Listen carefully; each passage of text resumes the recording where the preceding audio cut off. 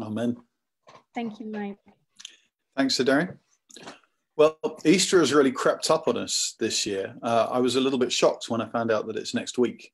Um, and doesn't it just feel like 100 years ago that people were talking about Lent? It's, it's hard to believe it's the same year. And people talking about what should I give up for Lent? Will it be chocolate? Uh, that seems to be a perennial favourite. Of course, for most of us, it turned out to be toilet paper this year. well, and so everything's changed. And instead of the usual preaching calendar, we're in this strange situation where we don't quite know week to week um, uh, how to deal with our program. We, you, you remember, we were supposed to be preaching our way through the life of David. And we do plan to pick that up again sometime after Easter. But at the moment, we're very focused on uh, what can be said about the current situation. Um, and even the business of preaching now is very strange. It's very different from usual. So normally I, I love to see all your happy smiling faces out there in the congregation and sort of understand who's who's getting what and and how it's all progressing. So i've got a little bit of help this morning. I'm, I'm talking only to a camera but uh, fiona and dan and beth are, are, are, sitting opposite me in little chairs. And in fact let's just show you them. Here they are. So uh, can you see them there? So they're sharing a blanket as well yeah, they've got a blanket covering their knees because it's so cold in this house. But they're my congregation, so I, I, have someone to look at while all this is going on. So that's a pleasant bonus. But so, with all that cheerfulness uh, established, now I, I want to tell you this I want to talk about facing death. And my title today is Long Life and Eternal Life. But to think about those things, we do have to think about death as well. So, what we're going to do is look at some people in the Bible who faced death some of them lived, some of them died, and we're going to see what we can learn from them. Uh, and particularly now, as we're coming up to Easter, when we think about Jesus having been raised from the dead and everything that that means for us, I want to prepare really for Easter by looking at people in the Bible who saw beyond death, or you could equally say who saw beyond this life. So we're going to begin then with the story of Daniel's three friends that Beth read to us. Uh, the names are strange and ancient Shadrach, Meshach, and Abednego. I'm just going to call them Daniel's friends. Uh, the king is called Nebuchadnezzar. That's a strange name. I'm just going to call him the king. Um, but you'll remember the key thing here is the king required everybody to worship an image of him. And if they didn't, they would be thrown into this furnace. And all of Daniel's three friends refused. So I'm just going to read again the very end of that passage. Uh, then the king flew into a rage and ordered that the three friends be brought before him. And when they were brought in, the king said to them, Is it true that you refuse to serve my gods or to worship the gold statue I have set up? If you refuse, you will be thrown immediately into the blazing furnace. And then what God will be able to rescue you from my power? And they replied, O king, we do not need to defend ourselves before you. If we are thrown into the blazing furnace, the God whom we serve is able to save us. He will rescue us from your power, your majesty. But even if he doesn't, we want to make it clear to you that we will never serve your gods or worship the statue you have set up. Now, the key point I want to make here is not that God was able to save him from the furnace. Uh, and it's not even that God did save him from the furnace. In fact, we didn't even read how this story ends. Uh, and do go and read it yourself afterwards. Uh, Daniel chapter 3, starting at verse 19. And you'll see that they survived the furnace. But the key point to me here is not that God could keep them so through the furnace. Their true hope was in this. What they said was, even if he doesn't, we will never worship your statue. And it's that even if he doesn't that fascinates me. That's the bit when I read this that leaps out at me. Now, these are Jews living hundreds of years before the time of Christ. There's nothing written down in, in what they would have had by way of a Bible, the, the early books of the Old Testament, uh, that would have told them really very clearly that there is another life waiting for them after this one. And yet, clearly, they saw that. They saw that that was there waiting for them. Because if they hadn't seen that, they would never have thrown away the lives that they were living there and then. If that was the only life they had, they would have clung on to it, wouldn't they? But instead, they were able to say, even if God doesn't bring us safely through the furnace, what they were saying essentially is, we still trust Him for the life that comes after this.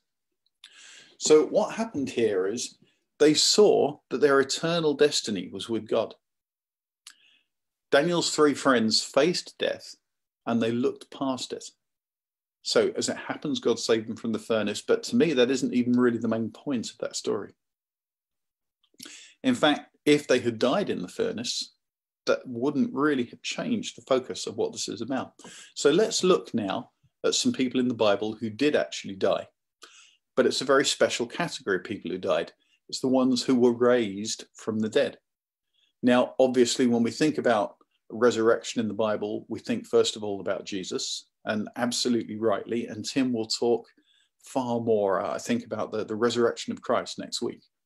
But there are eight other stories in the Bible of people who, having died, were raised to life again. Three of them in the Old Testament, um, uh, the prophets Elijah and Elisha uh, raised different people from the dead. And then in the New Testament, three people that Jesus raised. And of course, the, the best known of those is Lazarus, uh, a name that really has become synonymous with the idea of returning from the dead. And two others who, after Jesus had ascended, uh, the apostles prayed for, and they were raised also from the dead. So we won't go into who they all were. We won't look at the individual stories. You can just think of Lazarus as an example of all of them, if you like, standing in for them all. The question I want to ask is this What happened next? Well, I think we can assume that 30 or 50 or 70 years later, what happened to Lazarus was he died. So the same will have been true with all of these people, the, the, the, various sons of widows that the Old Testament prophets raised to life. They will have lived for some decades and then died, just as all of us will do. Now, what happened to them, of course, was fantastic and miraculous. And I'm not at all talking those miracles down. But ultimately, all they got out of that was a few more decades of the life that they were already living you could say it's almost the same thing as, as what the king offered Daniel's three friends. You know, because he had the power in that position to say, I'm going to have you killed now, but if you do what I want, I'm going to let you live for your 30 or 50 or 70 years. Or you could look at it another way and say, well, it's the same thing that a good human healthcare system can give us now. That people who become ill, who have a serious illness that might kill them, they get the right healthcare, uh, it can give them another 30 or 50 or 70 years of life. Now, that is a fantastic thing. It's, it's a brilliant thing. Don't mishear me. But it's only about getting a little more or a lot more of what we already have this life. But Daniel's three friends saw something beyond that, didn't they? They weren't just looking at can we survive the furnace? Can we carry on living? after we're thrown into the furnace. They were saying, even if the furnace kills us, we see further, we see beyond. And so I want to come to the third person, the last person really that we're looking at today, uh, because we've looked at people who died and were raised to have more life on earth. And we've looked at Daniel's friends who escaped death, but who didn't fear it anyway because they saw further. Now I want to look at somebody who did die and who wasn't raised, but who in some ways is the best example for us. Um, and I suppose because the situations we talked about before are rare. You know, Daniel's friends who survived the furnace, that was a miracle. Those eight people in the Bible who, having died, were raised to more life on earth, they're very rare. But all of us, unless something astonishing happens, will die. So let's look at someone who died in the Bible. Now we're coming in near the end of Luke's Gospel here, chapter 23, and I'm going to start reading from verse 32. Two others, both of them criminals, were led out to be executed with Jesus. When they came to a place called the skull, they nailed Jesus to the cross, and the criminals were also crucified, one on his right and one on his left. One of the criminals hanging beside him scoffed, So you're the Messiah, are you? Well, prove it by saving yourself and us too while you're at it. But the other criminal protested, Don't you fear God even when you've been sentenced to die? We deserve to die for our crimes, but this man hasn't done anything wrong. And then he said, Jesus, remember me when you come into your kingdom. And Jesus replied, I assure you, today you will be with me in paradise. Now, we're just going to look at the second thief here. His body was broken. Even if he'd been taken down from the cross at that point, he couldn't have survived. All his hope for earthly life was gone. He wasn't like somebody now who gets an illness and goes into a hospital hoping to recover from the illness and live another 30 or 40 or 50 years. His life was over and he knew it. All his hope in earthly life was gone. And yet, in that situation, he said to Jesus, Remember me when you come into your kingdom. Now, what does that tell us about his perspective? Now, his hope was not in this world at all, but in eternity. He was looking beyond the world that we live in now to something higher and above. Not only that, it's an astonishing thing. I, I think apart from Jesus himself, this thief is the only person in the Bible who we know for certain is in heaven. Now, obviously, we can guess with very good confidence that Peter and Paul and David and Abraham and all the rest uh, make it there. But this thief is the only person to whom we have we hear Jesus actually saying, "Today you will be with me in paradise." So the thief died, but he was raised to eternal life. Now you see how he is looking at something far greater than even Lazarus received, who was just raised up to more of this life. So, what about us then? Where do we stand? How do we compare ourselves with these people? How did their positions inform ours? Now, I hope every one of us who's a Christian would say that we trust God in the midst of the coronavirus crisis. But the question I want to ask is what exactly is our hope in? Now, there are two things that are quite different from each other. One is that we can trust that God will keep us safe through the coronavirus. Now, I'm not saying at all that that's a bad thing. Absolutely, it's good to, to pray for safety. Uh, and of course, we also have our part to play in keeping ourselves and others safe. Uh, and again, the social distancing measures that everybody talks about, uh, and the hand washing and everything else, they remain incredibly important. Please, absolutely stay with those. But there's another perspective as well, isn't there? That Daniel's friends had the right perspective when they said, But even if he doesn't keep us safe through the furnace, or in our case, we could say, even if God doesn't keep us safe through the coronavirus, it's still the case that we look beyond this life and we look at what God has for us beyond here. So, what are we looking for? When we say that we trust God in this situation, we're not just looking to survive this and live for a few more decades on the earth, like Lazarus did. We are looking for eternity, like the thief. We're not just saying that God can save us from dying, we're saying that even if we die, God will save us. So important, so valuable. So we think about how we've responded so far to the coronavirus crisis. In some ways, you could say it's brought out the best in this church. I mean, I think it's great that uh, you remember from last week we saw the photos of how Lynn and her team have been providing food for the school kids. Uh, I'm impressed that the church has done such a good job of keeping in touch with its members and reaching out to people and providing a sense of community. All of this is great, and I love that we do it. And there's part of me that sort of imagines non Christians looking at what the church is doing uh, and maybe being quite impressed by it. And I think, oh, that's good. You know, we're, we're glad that it's that way. But I would never want us for that reason to get sort of drawn into thinking of ourselves just as a charitable society, as an organization that's out to do good to people. That's valuable, but we're more than that. We are the church. Our hope, our goal is not just to prolong life, not just to give people a better life here on earth, in fact, it's not even, our hope isn't even in God's ability to prolong our lives and give us more life on earth and a better quality of life on earth. It's more than that, isn't it? It's the eternal life that God has promised us. And by eternal, I believe the Bible doesn't just mean going on forever, it's talking about a different quality of life. And this is so important that Paul, in his first letters to the Corinthians, writes this if our hope in Christ is only for this life, we are more to be pitied than anyone in the world. Now, Paul could have said, uh, even if the, there's no life to come after this, it's still best to be a Christian because it gives you a clearer perspective on life and good principles for living and a healthier family and all kinds of other things that we might say as well about the side effects, the, the sort of fringe benefits of being a Christian. But actually, Paul sees this laser kind of focus that if our hope in Christ is only for this life, then we're to be pitied. Because for him, the recognition of the life to come was so very much more important. And I think that's crucial.